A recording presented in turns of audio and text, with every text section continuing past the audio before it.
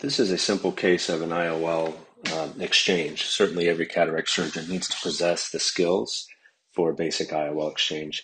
Uh, this patient received a multifocal lens implant uh, three months prior and was having extreme difficulty adapting to the photopsias associated with this lens implant, and the patient desired uh, an exchange for a monofocal lens implant. So I'm going through my uh, initial paracentesis, which was relatively easy to open up with a viscoelastic cannula.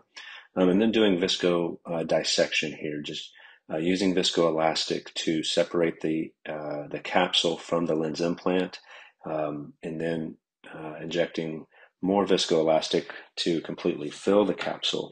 Now, the most um, concerning part uh, of this is making sure the terminal bulbs of the haptics are free. That's where the most fibrosis uh, occurs, and that's where you're most likely to tear the capsule. So you can see here the trailing haptic has been dislodged from the capsule, we were able to visualize the terminal bulb, and here we're able to do the same thing uh, with the leading haptic. So this lens is now completely free from the capsule, but you do want to always check to make sure that the terminal bulbs are free. The longer the lens has been in there, typically the more fibrosis.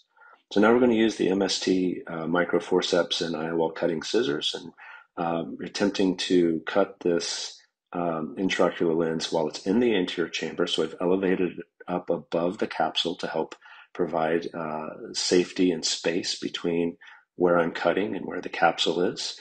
There's plenty of viscoelastic beneath. Um, you can see we're trying to hold the lens as stationary as possible with the forceps. And we're going to attempt the Pac-Man technique here where we cut through about 90% of the lens and then you grab one corner and pull it out just as seen here.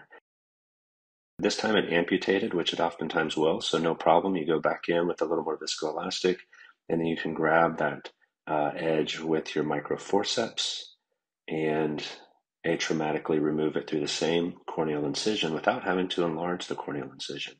So now we're going to reinflate the capsular bag and inspect, and the posterior and anterior capsule appear to be uh, intact. And now we're going to insert the new monofocal intraocular lens. Uh, in this case, this is uh, an Alcon Clareon monofocal.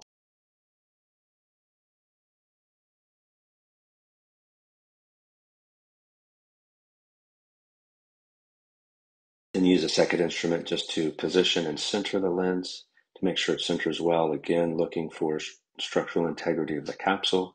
The Capsule appears to be intact without any uh, defects or deficiencies. Can then remove the viscoelastic material just like you typically would in a standard phaco emulsification.